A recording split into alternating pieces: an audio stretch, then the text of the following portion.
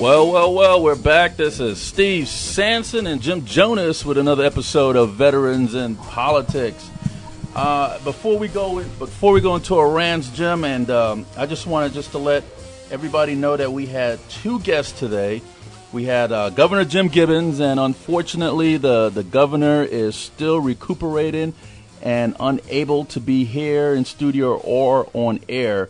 Um, Governor does promise to uh, come in sometime in December to uh, to uh, for an interview, so we apologize for that.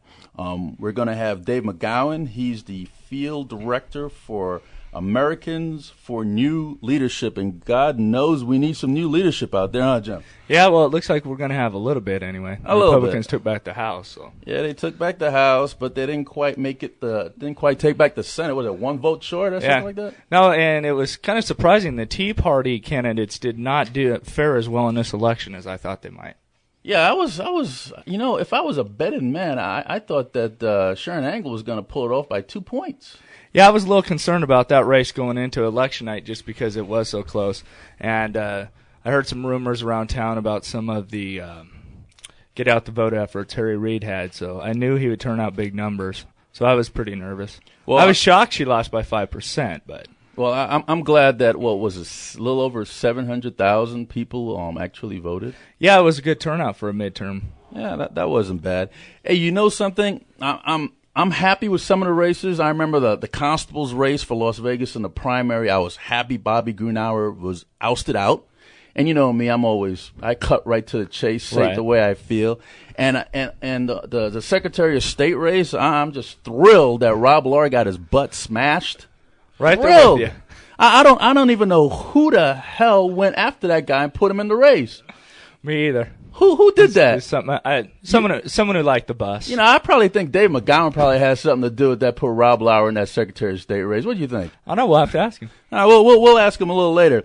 But um, what other races excited you? I I, I, I well, let me let me just think. The the the um race with the uh, Jerry Reese and uh, Michael McDonald for um district court judge that was that was very close. Yeah, it was. And then you have Judge Abatangelo. He after 14 years on the bench, he he lost his seat. Yeah. Well, yeah, things happen, you know. But um, I, I he said that he was going to get a recount. Yeah, I was happy for uh, Elizabeth Halseth. Elizabeth Halseth she took it. Well, that, that's a Republican area. Yeah. And you know something? You know, Dave McGowan is the one that really pushed and made sure that she won that primary against Dennis Nolan. Yeah, he did. So if I was Elizabeth House, said I'll, I'll send Dave McGowan a bouquet of flowers or a box of chocolates or something, just thanking him. Yeah, I'll I'll fully admit I was in the beginning I did not think uh, she was ready to be a state senator, but after watching a very impressive campaign, I mean I know Elizabeth personally. I know she's a very uh, How personal? Steve. Come on. Okay, good. Just, you know, I, I got to ask. You said you know her personally, so Yeah, I'm asking. We're friends. Oh, okay. Good. And uh, I know she's a very, very intelligent woman, but I just thought that she didn't have some of the experience she needed. But she ran a very successful But campaign. you know I something? think she's I- to do a wonderful. I invited her to come on the show um, during the general, and, and she never showed. So I, I Maybe she just likes me more than you. Well, then she should have Uh, showed that, up that just for wasn't you. enough. She should have just showed up just for Well, you. what did, what did you do to make it to where she didn't want to come on the air? I, I didn't do a doggone thing I there. I, I think I was very nice. Uh, we, we endorsed her, by the way. Yeah, did. So against um, Tom Jones, the, the Libertarian or Independent or something like that. I forget. I forget. I forget what party uh, Tom Jones is um, um, affiliated with. But um, folks, we're gonna have our raffle drawing at two thirty, and we have uh, three winners. So you probably want to stay tuned for that. I'll call out those numbers at around two thirty. But um, you know, Veterans Day is November eleventh, Yep, and uh, you know, I, I think that only veterans should have that day off. I agree. Yeah. If if you can't prove you're a veteran, you should work. I agree. Now, how we're going to enforce that is, I'd like to hear your The, the same way we're enforcing illegal immigration. Oh, okay. There you go. Yeah, exactly the same way. We can't. I guess. I guess not. And Marine Corps birthday is coming up November 10th. Oh yeah, we're gonna have to go to that. I went last year. It was a lot of fun. Yeah, you know, Marines are the Marine Corps is 235 years old November 10th. One year older than the nation. We're the oldest fighting force in the United States. Impressive. Impressive. I, I just love those uniforms. Yeah. Are you going to go to the ball? Yeah. You are? Yeah. Oh, did you get the tickets? No, you're gonna get them for me. You said I am? Yeah. I just let you know that right now. Oh, you know, I haven't even got my tickets. Well, hurry up. I, I, I don't even, I don't even, I don't even think, I don't even think I'm going to go. I think after Ah, five years, after five years of going to the Marine Corps Ball since 2004 here in um, Las Vegas, I had to be specific because I went to many Right. others in different countries and different uh, states. Uh, I, I think I probably would sit this one out. I don't know why. Why? I just don't feel the warm and fuzzy the way I used to. You know. Oh, you like those cake cutting events? do you? I, I do yeah. like the cake cutting events. I see the oldest Marine and youngest Marine. Yeah. That, that's always fun. But um, I want to talk about something that that's that's very personal to me. You know, I'm the type of person that I'm very compassionate, Yeah. and and sometimes I wear my emotions on my sleeve. Yeah. You, you yeah, and, and sometimes you know my, my my wording comes out the wrong way, Right. and and and I I, I sometimes I, I just go direct with what I want to say and just say it, and Right. some people can't some people can't understand that. But um, you know you know the first the first of this year I was arrested. Right.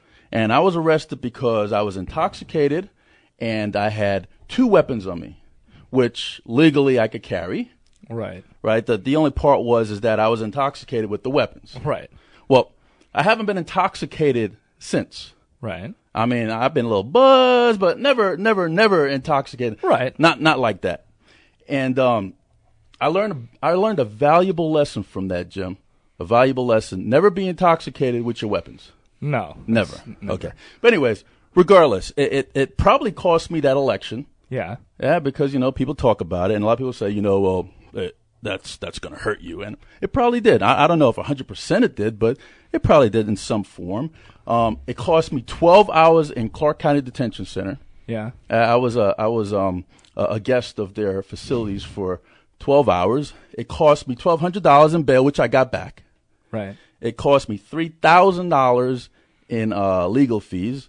Matter of fact, I think I'm still paying on that bill. And uh, it cost me suspension of my concealed weapons permit, which I got back. And it cost me time in court and, and scrutiny. Right. You know, and you know, folks out there, uh, my my family, my family is is um, a family. Well, majority of the family, alcoholism runs in that family. Right. I've seen my mother go through it, and my mother attempted suicide twice. I've seen my brother go through it. I have a brother that's in state penitentiary for first degree murder. He put five bullets in somebody's head. And I, I understand what alcoholism does because I have really, really valuable personal experience when it comes to this. And when I see somebody that that's um, subdued by alcoholism, I I I say something about it. And how I say it probably is not the way I should have said it, but I say it because I care and because that uh, I'm, I'm concerned and worried. And folks out there, you know, when you're when you get intoxicated, um, some people get intoxicated once a year, like like me. I'm going on a year. Okay. Some people get intoxicated every month. Some people get intoxicated every week. Some get intoxicated more than one time a week. Yeah. And when that happens, it puts you in a compromising position because you don't remember half the stuff that happened that day. Right. You you don't remember what you did, who did what to you, and a lot of people around you think it's a joke. The way you act, the way you walk. Yeah. You can't sit up, you can't walk. When you have to call people up in the middle of the night and people have to come pick you up or hide your keys from you or walk you up a flight of stairs or say, "Hey, you can't go anywhere because you're too drunk to drive." You have a problem.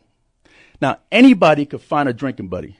You and I could go out and drink right now. Right. Be no problem. I, I mean, I, I could go to the bus stop and find somebody to have a couple beers with. But a true friend will say to you, hey, you know what? You need to stop that. You can't come over my house if you're going to be intoxicated. I can't hang out with you every time we go and hang out, you get intoxicated. So a true friend will say, stop that. It's time for you to sober up and not drink so much. If you can't drink socially, you shouldn't drink at all. Right. Everybody should know their limits. Like some people, a six pack, they're good to go. Anything past a six pack, they're toast. Right. Three drinks, they're fine. If they go four, they're falling down. So everybody should know their limitations. Me, I stop hard, heavy alcohol because I know that the Grey Goose really will sneak up on me. Yeah. You know what I'm saying? I know that Bacardi is a mother, boy. You know what I'm saying? But I could drink Coronas, I could drink a six pack, and I'm fine Right. because I know my limitations. And listen, folks, if you really love somebody and you really care about somebody, and this person is your friend, hey, you, you, you just you just have to show them tough love sometimes, and say enough is enough. Right. Like my daughter brought the mob over to my house because something she did. Guess what I did? What's that? I kicked her out. Okay? That's how I am. That's my daughter. My 19 year old daughter. I kicked out the house at 11:30 at night on a Friday night because she brought the mob over to my house because she did something stupid. I kicked her out the house. My oldest son, I kicked out the house a long time ago. Now me and him are tight as hell. Right. Sometimes there's decisions you got to make in life.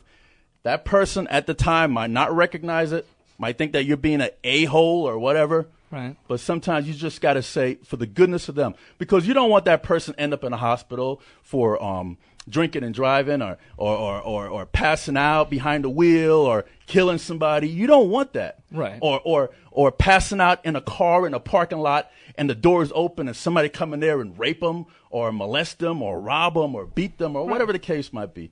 You don't want that. When you know that you're gonna have, when you know that you're gonna get that call in the morning for you to go pick somebody up and it happens constantly not like once a month Right. or every other month but every week every other week twice a week there's a problem so folks if i'm describing you out there you have a problem and those other folks if i'm describing one of your friends out there you need to step up to the plate and say look you know what i'm doing this for your own good and that's all i got to say about that any comments on that jim No, I was just kind of curious what brought that up, but uh, It's just a personal thing that happened recently that brought Oh, it up, and I just felt the need to say it. Yeah. Because because I know I know what alcoholism has done to my family. Right. And then when I witness somebody that's in that same position, yeah, it just brings up my whole history of what went on in my life. You know. yeah. Well, I'm I got some alcoholism that runs in my family too, so I've dealt with those situations too. Tough love, baby. Tough love. This is Steve Sanson and Jim Jonas with Veterans in Politics. We'll be back momentarily with Dave McGowan, Field Director for Americans for New Leadership.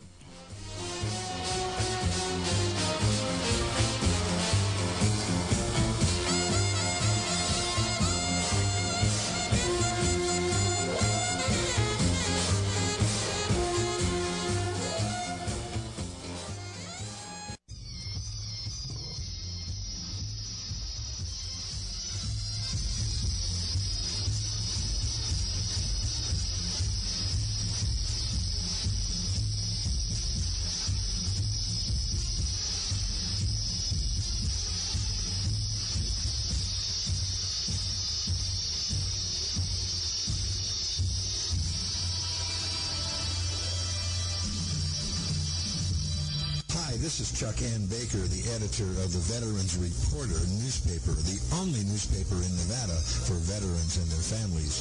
Pick up your free copies at most VA offices, most libraries, at the American Legion, the VFW, the DAV, and hundreds of other locations. We also produce the Veterans Reporter radio show every Thursday night from 8 to 9 p.m. KLAV Radio, 1230, and you stream it live www.klav1230am.com. This is Chuck N. Baker for the Veterans Reporter newspaper. Online? Checking out the Belly Dance. That's right. Work our arms. Work our abs. We work so hard and blast. No matter what. Your from Belly Dance. You'll be surprised. For cross schedule and locations, log on to FactorBelly.com.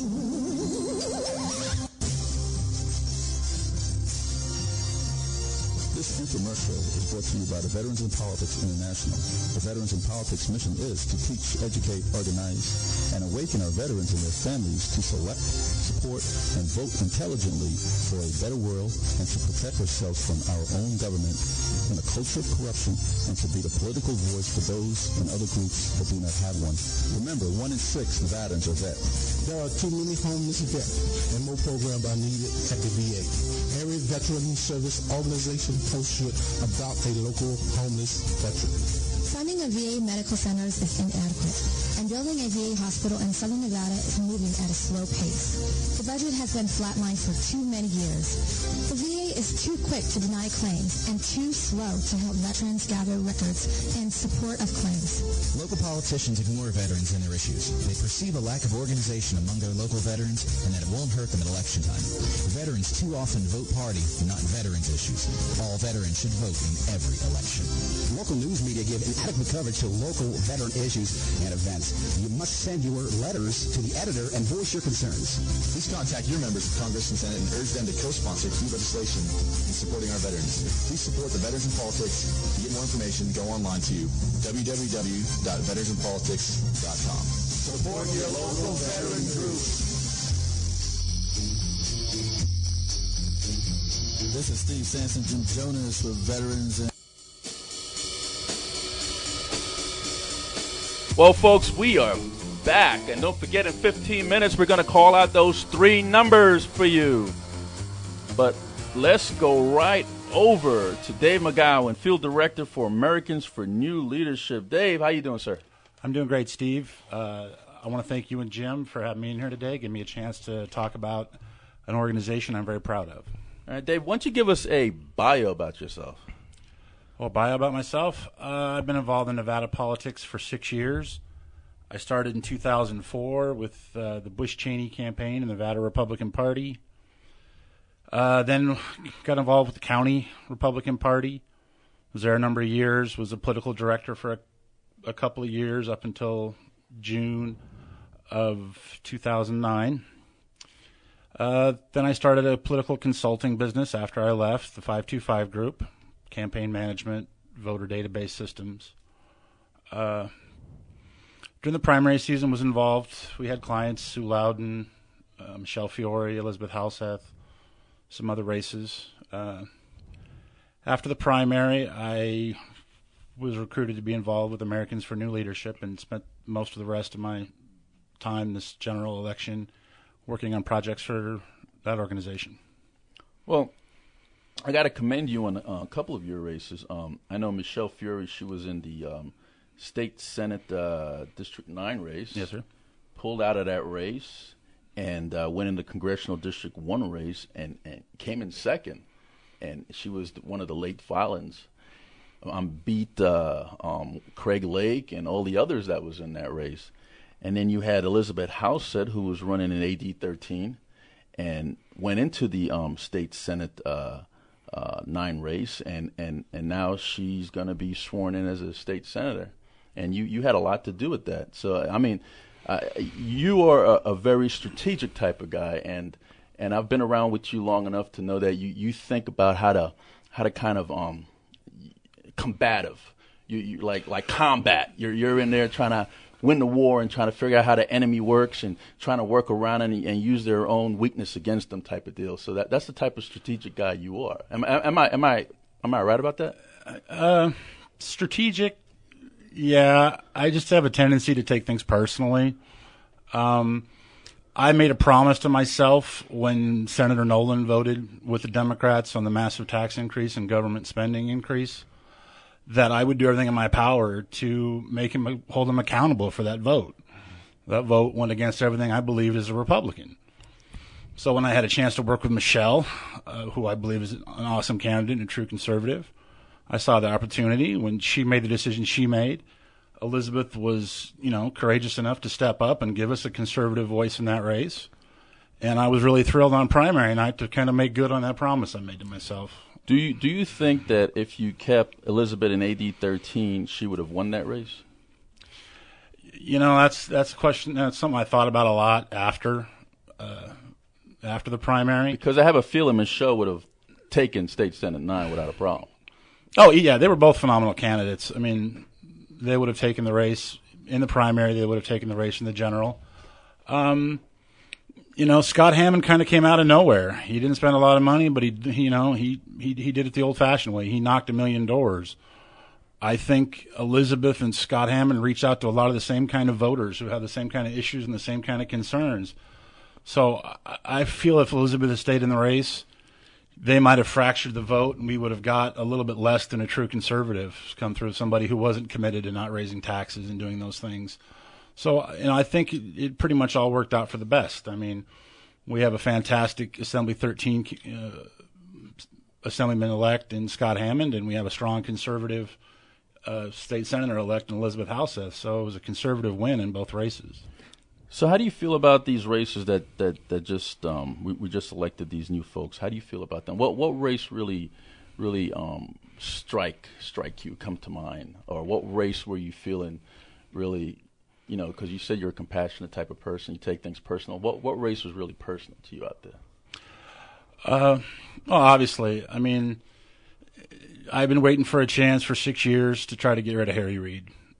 You know, I was, and this was the best year to do it. Yeah, I was new to the game in 2004 and thought, you know, when I got in that we had a shot, and realized early on we didn't. I thought we had a shot now. Uh, you know, I thought we had a shot this cycle to, to take him out. I thought this was the year. You know, it's a majority leader. It hasn't been done in almost 60 years. Everything's got to line up. You know, we came up short. Uh, that one I took personal, and all the state senate races. You know, we had phenomenal conservatives that really carried the message. You know, we had Mike Roberson, we had Barbara Cegavske, we had Elizabeth Halseth go out there and really sell a conservative message in districts that actually the Democrats were ahead in voter registration. Yeah. And we're not just fighting so much their opponents, but Steven Big Dollars Horsford and those garbage mailers that they flood with, and the Harry Reid and the Dina Titus turnout machine. And I was really proud to see them go out there and sell a conservative message to the voters. What was the what uh, Dave? You've been around politics for, like you said, Nevada politics for six years, and I know you're very knowledgeable in politics. What to you defines a good candidate? What does a candidate really need to have to be considered a good, strong candidate? Um, well, I mean, obviously you have to have a pedigree that voters can look at and find trust in. I think they have to find a connection. I mean, why did Elizabeth win? I think you look at Elizabeth, you look at her family. They're the Senate Nine family. You know, they're a small business owner, husband, three kids, PTA, church volunteer. That's what people identify with in Senate District 9 against a well funded jewelry store owner, you know, huge house, fast cars. Not something people connect with. So you have to have that pedigree that people connect with. Then you have to have a message that. that And, and and the photo of him wasn't very um, family oriented either. No, absolutely, yeah, absolutely not. And then once you you know once you kind of put that into candidate, they have to have a message that people connect with. And all of our, I think all the Republican candidates did a great job of coming out with that message. We cannot, whether it's in Washington or in Carson City, just spend money because we want to. Just spend money because we think we need to. We can only spend the money that we have.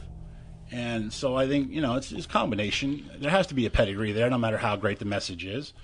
And uh, no matter how great the pedigree is, there has to be a message there that people connect with. So I think we had a lot of luck at putting those two things together this cycle. Do you think if Michelle Fiore was to um, uh, win the GOP nomination in the primary, she would have possibly beat Shelley Berkley? I think again that would have given us, you know, no disrespect to Ken Wegner. I mean, I know Ken. Ken served his, his you know, his country with honor. I, I don't, you know, I don't mean to, to belittle him at all, but you know, it's kind of the same action expecting a different result. You know, I think this would have been. I think Michelle could have been a really good contrast to Shelley, a small business owner who's created healthcare jobs, who's done some of the, you know, some of the things that people are concerned about. But the bottom line, the Reid campaign spent so much money, and we saw such an increase in their effort to turn out voters in CD1 that, all due respect to Michelle, I don't think it was our year. What about the uh, U.S. Senate race? Well, I mean, you had an amazing thing happen. I mean, you had one of the worst pol- one of the worst public servants run one of the best campaigns ever. I mean, Harry Reid is not about serving the interests of Nevada. He's about serving the interests of the National Democrat Party. He showed that time and time again. Supporting a health care bill his constituents didn't want, spending his constituents didn't want. But they were able, with their resources and their campaign team, to get out of the gate. Primary election night with websites and with the message Sharron's extreme, Sharron's crazy. You should be shared, you know, you should be scared of Sharron. She's going to do this, she's going to do that things that aren't true, you know, things that Sharron's not going to do. But he was able to get out there and pound that message, and you saw Sharron's negatives climb. You know, and you can do something with undecided voters in a race, but right. you can't really bring back a negative. You can't really walk back a negative. When her negatives got to where he was, you know, the race was in a really bad position for us. So, uh, you know, I give his campaign staff major credit for that. I mean, they made an extremely unpopular person a little bit less unpopular than somebody. I mean, it was never about Harry. It was never about what he's done. They don't talk about his record. What's his record? Massive unemployment, massive spending, a health care bill nobody wants. You know, they never talked about that. They talked about Sharron will take this away. Sharron will hurt this. Sharron doesn't like that. You know, and they were better at that kind of campaign than, than our side was. Dave, do you think this race would even even been close if Sue Lowden or Danny Tarkanian would have taken that primary? You know, I have to give the caveat that you know I worked for Sue. Sue's a friend of mine, um, but honestly, I don't think I think anything would have been close. They they had the money, they had the turnout machine, they had the unions. Yeah. You now see Harrah's emails basically threatening their employees to go vote and how to vote. So the turnout would have been there. Isn't that illegal? But th- that's a question for you know an FEC lawyer, somebody better than mine. On the surface, in my opinion, as an individual, it seems illegal to me. But again, election laws fill rooms, so I don't right. you know I don't know exactly what they cross. But I don't think they could have done the job of convincing the voters that Sue Lowden was going to take away grandma's social security and, and kick the autistic kids out in the street and right. and do those things. I don't think they could have hung that tag around Sue. So I think Sue would have ran a very competitive race. And for the same stretch, I think Danny would have run a more competitive race. Not to, I'm not here to beat up on Sharron. I mean, Sharron uh, was our party's nominee. She's a strong conservative. Every Republican in the state would have been very proud of the way she voted had she got to the U.S. Senate. Uh, there just was a little sidetracked by a lot of things that really weren't the issues. So, how do you feel about the? I know we touched on this a little bit at the beginning, but how do you feel about the Secretary of State race? Um, well, yeah, this is my chance to respond and say I had nothing to do with uh, putting Rob Lauer in any race of any kind. Um, you know, I think again, I'm putting on my David McGowan cap, my American for New Leadership cap. We can put on later, but you know, I think the voters got that one right. Um, you have to have a working. I mean, partisanship aside, you have to have a working knowledge of the job you're seeking. Right. And when he's making statements, you know, about things, you know, boards of elections that don't exist and and things related to election law that Ross Miller couldn't do if he wanted to do, you know, it, it, it isn't what's best for Nevada to turn those kind of jobs over strictly on nothing more than a partisan vote. Yeah, he lost by about 102,000 votes. Yeah. And those 102,000 folks that voted for him really didn't know the, the real Rob Lauer. They probably just saw an R and just went with it, you know. So let's take a break, and uh, when we come back, we're going to call out those uh, three raffle numbers, and uh, we're going to go right back to Dave McGowan, Field Director for Americans for New Leadership. This is Steve Sanson and Jim Jonas with Veterans in Politics.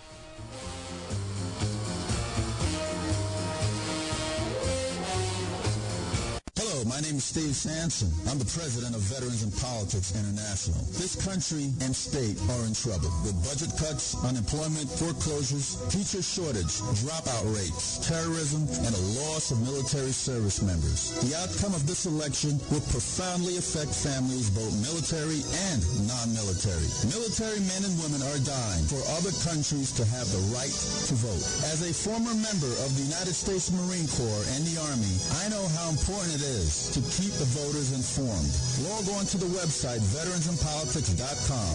All Americans of voting age need to not only vote, but research your choices. The Veterans in Politics organization has taken a proactive approach to supporting candidates who will have the courage to protect all of our freedoms and our Constitution. Visit our website at veteransinpolitics.com. Don't just talk about who you support. Research your choices and vote. Hi, this is Chuck N. Baker, the editor of the Veterans Reporter newspaper, the only newspaper in Nevada for veterans and their families.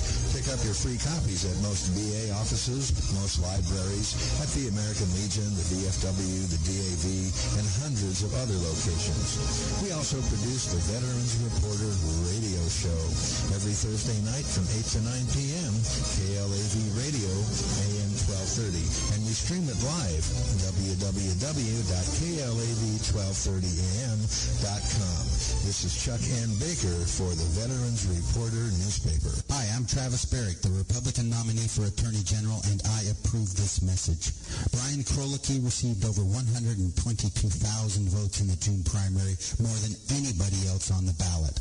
The lawsuit against him by Ms. Masto was a political witch hunt where she wasted thousands of your dollars. She has disgraced the office of Attorney General by being a partisan hack of Harry Reid, and their socialist agenda is too radical for Nevada. You have the right to expect better of your Attorney General, and I have the integrity to deliver on that expectation. Go to travisbarrick.com to learn more about me and my campaign. Well, we are back. This is Steve Sanson and Jim Jonas with Veterans in Politics. Live in studio, Dave McGowan, Field Director for Americans for New Leadership. But before we go on to Dave, I have to call out uh, three numbers. We had uh, a little election, call it election donation pool. And um, we have uh, first, second, and third place winners. So if anybody, if all you folks that are listening, and I'm sure you're listening because you you want some money, um, you probably want to get your little raffle tickets out. First place winner for the two hundred dollars is number two eight three five four seven.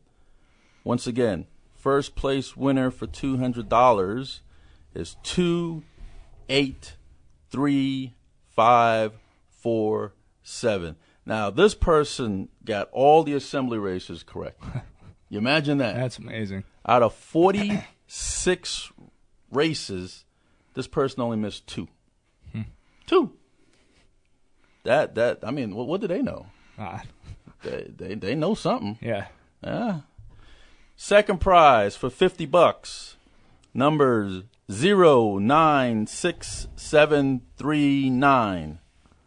50 bucks. Number 096739. And the third place winner for $25. Hold on to your seat. Number 096735. 096735. And for those folks that wants to redeem their cash prizes, please give me a call at 702 283 8088 283 8088. If you don't call me, I'm going to use that money to pay for veterans and politics bills. And we got some bills from this last election. Those YouTube videos was quite pricey.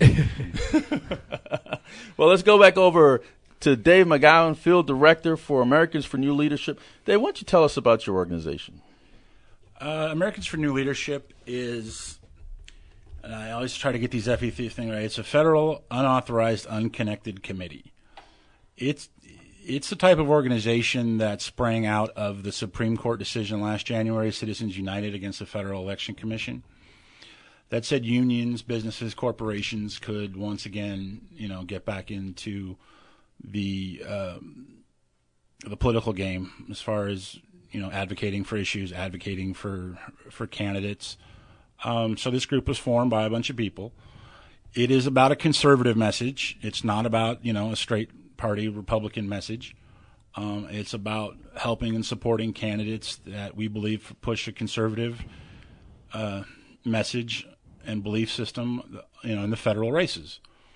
We were one of the first groups to get up on the air in Nevada in defense of Sharron. We ran a spot, you know, trying to push back on the Social Security attacks that she was going under, and did some other things. Um, did some things for for for Joe Heck, and what we're you know trying to look at becoming is you know, the conservative version for MoveOn, you know, to, to moveon.org, same kind of organization, only with integrity and principles.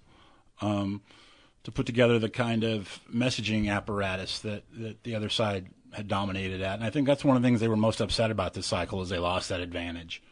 Yeah. You know, uh, Republicans got organized on our side. So um, that's a little background of the of the group. Um, how how long has the group been in existence? A matter of months. I mean, it was created this cycle. Is that why there's only one uh, page on uh, the? Yeah, internet? that's all a work in progress. Okay. So. Okay. Uh, it's not gonna. Is it? Is it gonna um um do like a voter registration, get out the vote type of deal, register people to vote? We're going to focus uh, more on the active, more on the activism end, uh, educate on issues, um, turn out voters. Um, we're never going to pass up a chance to, you know, to do voter registration. So, how did you vote on question number one? I voted no straight across the board on okay. the questions. Okay, so it's going to be something like that. Um, questions come up on the ballot, educate the public on the questions, and try to have them lean towards your way, like vote no on question number one, because. Yes let's not take away the rights uh, from the people to vote. Now, who made that one? That's probably Jon Ralston made that. Jon Ralston. You know, me and him got into a fight over that. Well, it's amazing. They show like one or two examples where the people got it wrong on judges. Elizabeth Halverson, right? Not to be confused with Elizabeth Halseth on any level, but Elizabeth Halverson. Uh, I well, hope not. Yeah. but uh, you know, did, did the voters get it wrong there? Well, I mean, obviously, but you act they act like turning it over to the politicians guarantees a hundred percent success rate. You know, That's if my choices are between that. people and the politicians making the decisions, right. I'm far more happy with the people and the occasional mistake than the situations you'd get if it became a pay for play favoritism. Right. Type operation. So like I'm on the judicial committee. Uh, my my son just got uh, DUI. Uh, you you might want to help him out with that. You know what I'm talking about? Yeah, mm-hmm. yeah, I, I, know, I know how. and like you said, I mean, that's one of those times where the, the, problem to that is increased education of the voter on who the judicial candidates are, right. not taking the decision away from them. Maybe you can do some things. Maybe, you know, every judicial candidate after the primary can be given a website. I mean, if you don't want them to have such a financial burden, can be given a website. You right. know, can be given a, a fact sheet, can be mailed. I mean, something like that. I, I would be looking towards more increasing voter education than just taking away their choice. Right. So, so how does people know about this organization, Dave? What are you doing to promote it? Uh, we have an, you know, we have a large active email list that we're emailing people to. Um, we kind of started it uh, with, you know, six years gives me a lot of friends and a lot of connections in, in that. We we brought a lot of the people that I trust and respect in, and they helped us do things. Um, we're going to move forward with some different kinds of marketing, looking to, you know, looking to increase our membership, um, kind of build some of the infrastructure so that uh, you know 2012 less than two years away the presidential stuff start up in you know six eight months. We want to be we want to have you know we want to have the boots on the ground. We want to have some of the organizations so that we can really counteract you know what will be if president obama is their nominee will be you know another huge massive effort put in in the 2012 election. So dave if a candidate comes to you and wants wants your group's help uh, is there any kind of litmus test that you give that candidate? Well, um, we're you know we're an unauthorized, unconnected committee. A candidate can't come to us. Okay. We can't coordinate on any level. I mean, we can't even go to their office and pick up their signs to distribute. We have to stay completely separate. So then, what we do is we look at the we look at the candidates that have put themselves out there, okay. and then we kind of put our uh, litmus test. Kind of a strong word, but you know, in the end, are they limited government conservatives? Are right. they, you know, reduce spending? Are they lower taxes? Are they personal responsibility? Um, those candidates will be happy to go out in races where we think it's close and where we think we, we can make a difference. We'll be happy to go out and you know get active. You ever heard of that organization? It's called um, Go Get Out the Vote, something like that, or Gotcha, something. I forget the name Are of you that. talking about? You might be talking about Goo. Yeah, yeah, yeah. You get ever heard of, of that? house? Yeah. Uh, get out of our house. That's yeah. correct. Yeah, uh-huh. they were trying to get rid of all the um, House Republican or the House, everybody in the House, and replace them all with new folks. Or is, is it going to be some type of organization like this that is, just want to replace everybody? No, absolutely not. I mean that you know that to me isn't productive. It isn't effective. You have great individuals. I mean, again, I believe Republican Party voters are intelligent individuals that can look at individuals and decide has that person lived up to the, the things that they campaigned on? Has that person advanced, you know, conservative values and make a decision to keep them where they have? There's a lot of amazing individuals on our side in the House of Representatives and the Senate that I would hate to see Paul Ryan, Michele Bachmann, Thad McCotter. I would hate to see those guys caught up in some Nancy effort. Pelosi. Um, Just Nancy. Uh, Nancy's a special case. Uh, I think the Republicans said it best when uh, she's indicated now that she'll stay and, and run for minority leader, and they said we hope she does. She's got a great record on creating jobs for Republican lawmakers. that was good. So I, I'm not stealing that. I'm giving credit to the Republican leadership on that. But yeah, I hope Nancy has a long career. So, so do you plan to go to D.C. to promote this, or, or, what, or is this going to be a, like a nationwide um, organization that you're running here? Oh, you know, obviously, obviously that's the goal. Um, there's a lot of states, you know, that are going to be active next cycle. The Republicans have a beautiful roadmap in the Senate next cycle. We only have 10 seats that are up, one of them that I think is in any real danger. So we have a chance to go out and, you know, seats in Virginia and seats that we lost in 2006 solely because of the atmos- atmosphere was anti Republican, but I think can easily put us at a 53 or 54 seat Republican Senate. And if we team that with a Republican House and a strong Republican presidential candidate, then we really have uh, Americans have gotten new leadership, and we can really look forward to fixing these, you know, fixing the real problems that we have. So, Dave, what do you say to some of the comments that I hear on different uh, news stations uh, following the election results, stating that uh, the Republicans got a second chance here; they better not blow it. Do you feel the same way? I, I absolutely feel the same way. I don't. Uh, this election, I feel like conservatives won a lot. I feel like individual Republican candidates won races. I don't feel like the Republican Party has won anything yet. I feel now they've really entered in the game they can win, and that is to govern conservatively. Yeah. If they do the things they run on, if they reduce spending, if they do everything they can to defund, repeal, gut that horrific health care bill, Right. if they stand up and run the things, I think they can win a huge, uh, you know, a, a huge victory moving forward. I think then they will increase majorities, and I think they'll win the presidency. I mean, Tea Party or not, Republican or not, people said enough. Right. People voted against members of the House that had been there for decades, that had run their whole career, Oberstar in Minnesota, Spratt in South Carolina, on look what I bring back, look at the goodies I bring home, look Right. at all the the people said we don't care about that anymore. Yeah. Because that breaks our government. Right. So there's a big, huge conservative uh, wave out there that now Republicans can take, and they can turn it into a huge victory. They can turn it into, you know, a 30 year, 40 year dominance of government if they govern conservatively. You're absolutely right, Jim. So, what race will this org concentrate on? Next election cycle, Yeah. I can promise you you'll be one of the shows we come back on first and talk about it, but it's way early for us to look at. You know, there's Senate races that we'll be we'll be looking at defending the you know the goals we've made here. You know the unions, you know the Democrats are going to come heavily back at Joe Heck. 2,000 votes has got to just burn them, burn them, you know, to the soul. So they'll be back, and we don't want to lose ground. But you know, we need to see how things shape up. So it's basically going to be the federal races. No, um, none of the. That's the kind um, of committee that American for New Leadership is. It's a federal entity committee. n- n- none of the um the the, the state races or, or local races here. No, again, the laws doesn't structure Okay. us. How But do you- we do believe by you know, obviously we focus on turning out Republican voters. That doesn't hurt. Well, let's anywhere. let, let's talk a little Right. bit about Republican. I, I think that there's several different factions of the Republican Party. You have you have the um what what they call the old guard, Mm-hmm. people that's been around. Um, um, well, one of the old guard used to be Sig Rog, Sig um, um Rogich. Rogich, un, un, until he ba- backed Harry Reid, which which which was I, I think was a sad sad day for us. And then you have the uh, the Tea Party folks.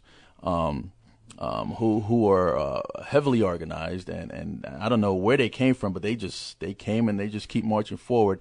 And then you have the, the regular um, the regular Republican conservatives that's not really a part of of anything. But how how do you feel about these three fashions that, that, that are going on? How, how do you how do you think that they could uh, become unified and, and work as a as one team instead of going in several different directions? Well, I think you know, I think you did a great job of breaking that down because a lot of people think it is two. It is either your old guard and your Tea Party. They don't acknowledge like you do the massive amount of Republicans in the middle that you know they're Republicans. They get active the last month before the election, but they don't intend to rally nine months out. They don't go down and make phone calls. You know, they live their lives. They're Republicans. But the the thing that unites all of us, you know, over the fighting and the bickering is a common goal, and that's limited government, and that's reducing spending, and that's you know giving our kids in America that's not twenty three trillion dollars in debt. And I think as we see the Republicans advance those agendas and those goals be met, is the best way I think to bring those those three sides together. If they see that you know even though they maybe started out rowing against each other, now slowly they're rowing towards that same goal, and see those things happen, they'll uh, you know there will be coming together. But Jim's absolutely right. If the old entrenched guard Republicans, you know, start, I, I'm so upset to hear this word compromise this week. You know, there is no compromising on the issues that face us. You can compromise on whether you have steak or chicken for dinner, Right. But not whether you spend a billion, a trillion dollars in debt, and then oh well, we'll back that down to five hundred billion. That's not compromise. I don't want to see those things. If we go forth with a bold agenda to reduce spending, that'll bring the parties better than anything else. And the th- and the thing that uh, I was talking to a friend about who doesn't he doesn't really understand that much about politics. He was he was laughing because he was like, "Oh, you guys thought you were going to win the Senate, and you didn't." I said, "Nah, most people thought it'd be close." But if I have to take the House or the Senate, I want the House. Absolutely. Because then we control spending. All so spending all spending. Yep. right from the House. So I think it was a bigger, even though the Democrats are trying to downplay it as not being the landslide people thought it was. If you look at the numbers in the House, that, the American people have spoken really clearly. Was that about 60 seats? Yeah. Somewhere around there? 60, uh, 61 and counting. 61, There's yeah. still some Yeah. messes out there. And, you know, understanding politics like we do, we, we did we did on some level take control of the Senate. We have 46, may end up with 47 senators, but more importantly than that, we have 41 strong conservatives. We can we can we can filibuster. That's we, the key, We can put a stop to anything we don't want going through the Senate. We don't have to worry about you know, when we were right at 41 and we needed every 41, we had to worry about the Olympia Snowes and the Susan Collins Right. and all these people that run their own program in the Republican Party. They can run their own program and we can go back to our conservative base and say, this isn't what the people want. This isn't what the people want. Let's stop this now. So, I mean, Harry goes back, unfortunately, but he goes back greatly, greatly weakened in his ability to get things done. And I believe with, you know, the clock is ticking, he has less than two years as majority leader because if you look at the map for 2012, we're in an excellent position in the Senate. So, what do you think that? How did Joe Heck pull it out? What did he do differently that Porter didn't? Besides, I mean, we all know that you know it, was just a Democrat year in 2008, but I heard rumors that uh, Jon just got out of touch with the voters, got a little bit arrogant. How did uh, Joe Heck not uh, have that happen to him?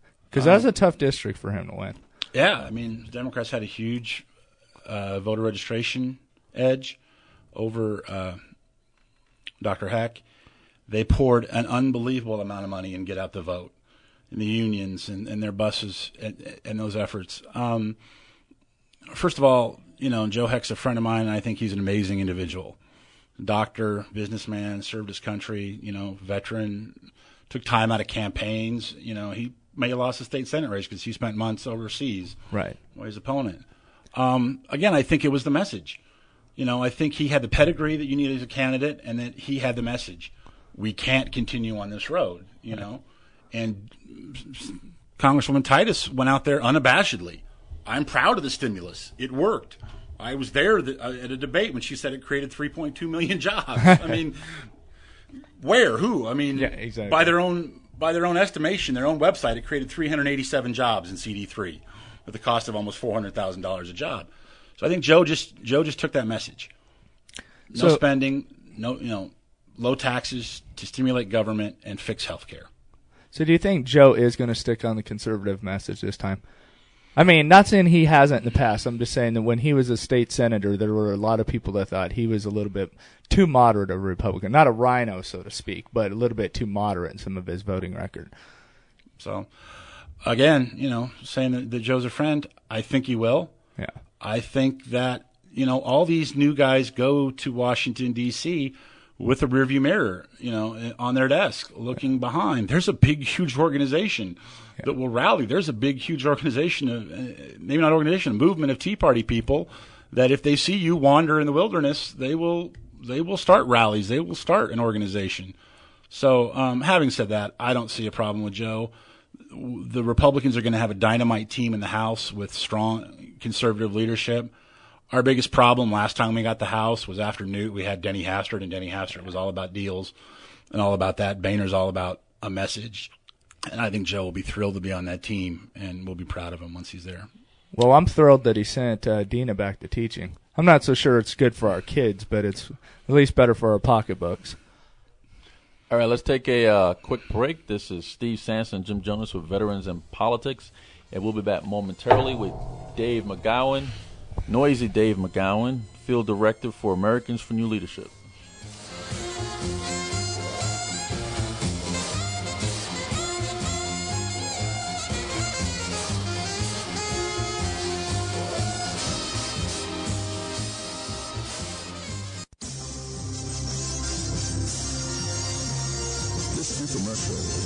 The Veterans in Politics International. The Veterans in Politics mission is to teach, educate, organize, and awaken our veterans and their families to select, support, and vote intelligently for a better world and to protect ourselves from our own government and a culture of corruption and to be the political voice for those and other groups that do not have one. Remember, one in six Nevadans are vets. There are too many homeless vets, and more programs are needed at the VA. Veteran service organization post should adopt a local homeless veteran. Funding of VA medical centers is inadequate, building a VA hospital in Southern Nevada is moving at a slow pace. The budget has been flatlined for too many years. The VA is too quick to deny claims and too slow to help veterans gather records in support of claims. Local politicians ignore veterans and their issues. They perceive a lack of organization among their local veterans and that it won't hurt them at election time. Veterans too often vote party, not veterans issues. All veterans should vote in every election. Local news media give inadequate coverage to local veteran issues and events. You must send your letters to the editor and voice your concerns. Please contact your members of Congress and Senate and urge them to co-sponsor key legislation in supporting our veterans. Please support the Veterans in Politics. To get more information, go online to www.veteransinpolitics.com. Support your local veteran groups. What are you doing online? Checking out the belly dance club. Where's it at? Factorbelly.com. That's right. We work your arms. We work your ass. We work so hard and have a blast. No matter what your favorite size. Some belly dance. You'll be surprised. For cross schedule and locations, log on to factorbelly.com.